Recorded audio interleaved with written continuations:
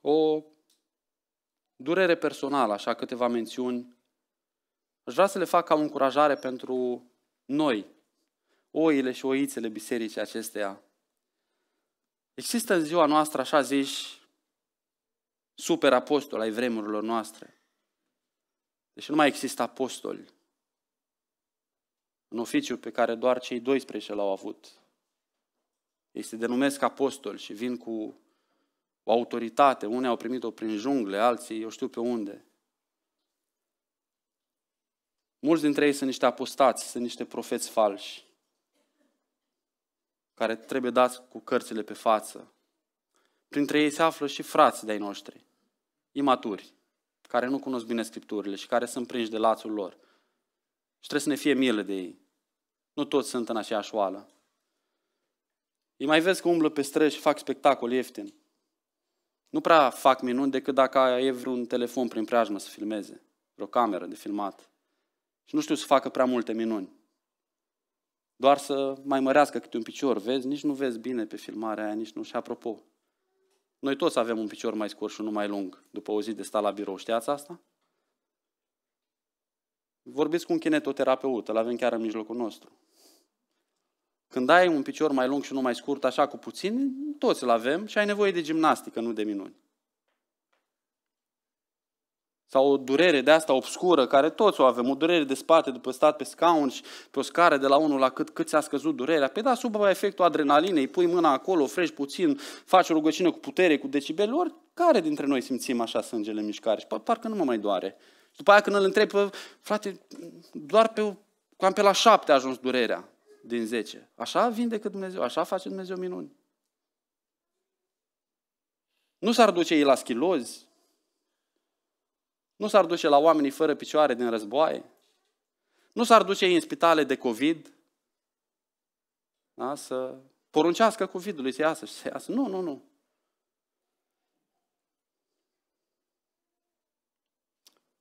De ce spun lucrurile acestea? Pentru că se aruncă umbre de îndoială și frică către unii dintre cei mai sfinți oameni pe care Dumnezeu îi are în generația noastră, oameni simpli, cu credință curată.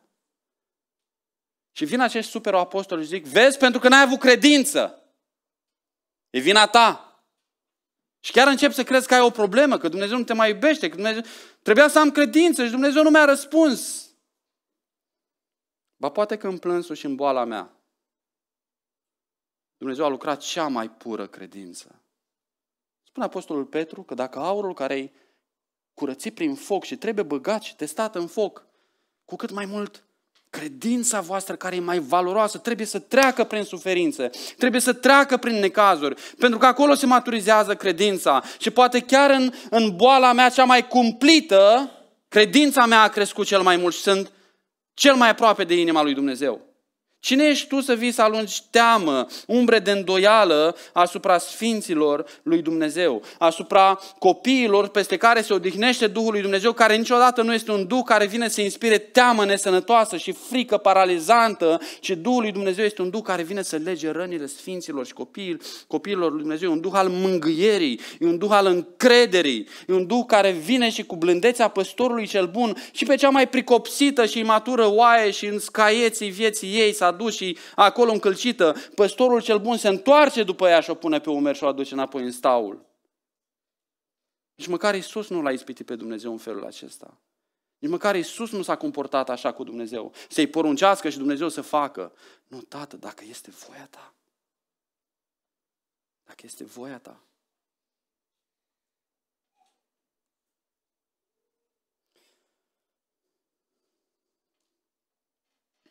Poate că unele lucruri pot fi la un moment dat adevărate sau combinate cu adevăr.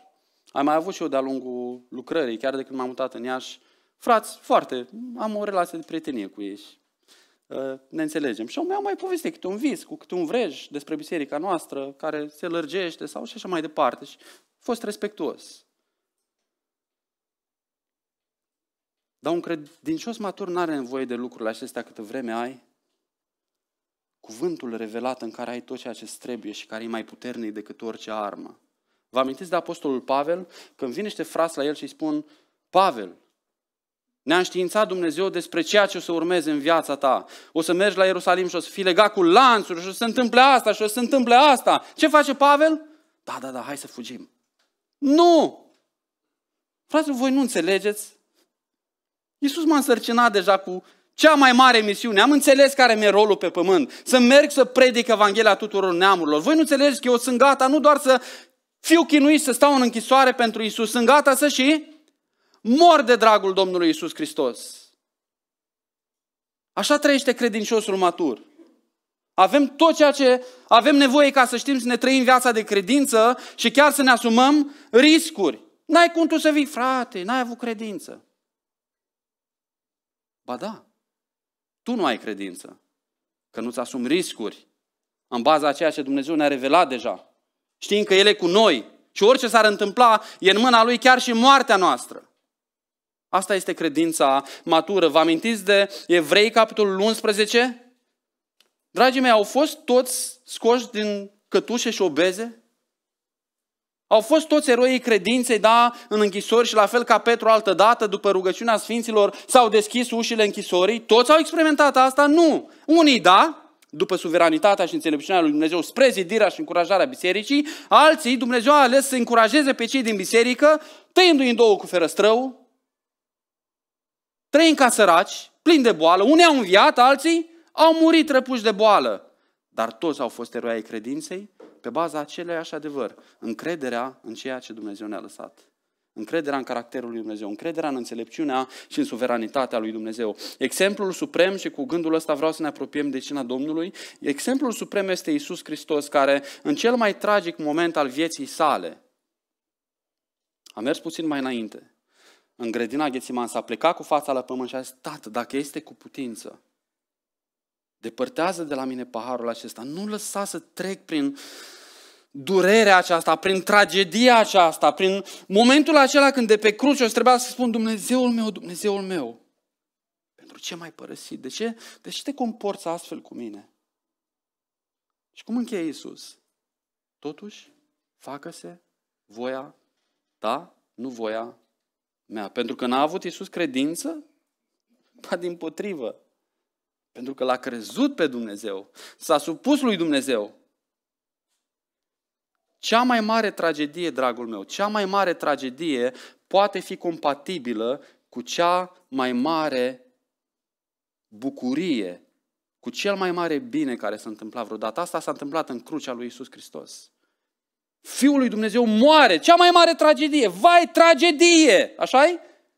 Dar nu e incompatibilă ca în același timp să fie cel mai mare bine care s-a întâmplat umanității și universului acestea vreodată. La fel cum în viața ta, când pleci genunchiul și strigi din durerea ta către Dumnezeu și pare a fi cea mai mare tragedie ceea ce se întâmplă în viața ta, în suveranitatea și în înțelepciunea și dragostea lui Dumnezeu, tocmai acea durere poate să fie cel mai mare bine care ți s-a întâmplat vreodată. Cum ajungi să ai parte de lucrurile acestea prin credință? Credința în ce? În Dumnezeu. Care ce a făcut? Ne-a spus că așa este. Și ce trebuie să facem? Să-L credem Fiți tare, dragi credincioși. Cum spune Scriptura, fi tare, oaie mică și neputincioasă. Nu fi descurajată de cei care se dau supereroi ai credinței și te fac să te simți nesemnificativ. Domnul Iisus Hristos spune, dacă ai în inima ta, cine nu se luptă cu... Care are credința perfectă? Niciunul. Toți ne luptăm. Toți suntem frământați de îndoială. Așa este? Dragă, credință mică, măcar câte un bob de muștar, Dumnezeu o vede, o apreciază și o va crește. Siguranța noastră știți care este? Este jertfa lui Isus de care ne apropiem astăzi. Că El e cu noi, că El ne întărește credința, că El are milă de noi, că El nu o să ne abandoneze. Asta este siguranța noastră, asta este tăria noastră. Știu bine că Isus, cel care m-a iubit și a dat pe sine pentru mine, datorită Lui, nici viața, nici moartea, nici stăpânirile de acum, nici cele viitoare, nimic nu vor fi în stare să mă despartă pe mine de dragostea Lui Isus Hristos.